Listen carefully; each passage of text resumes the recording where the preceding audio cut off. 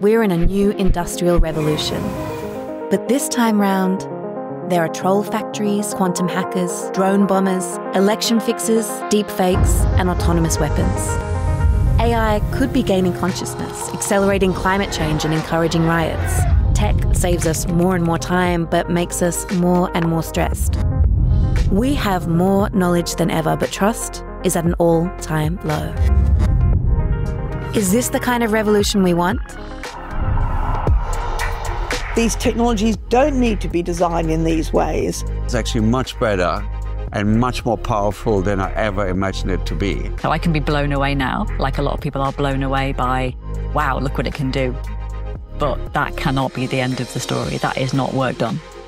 At LSE, our researchers are using tech's revolutionary power to better understand our world, looking at AI's potential to do good and limiting its potential to do harm.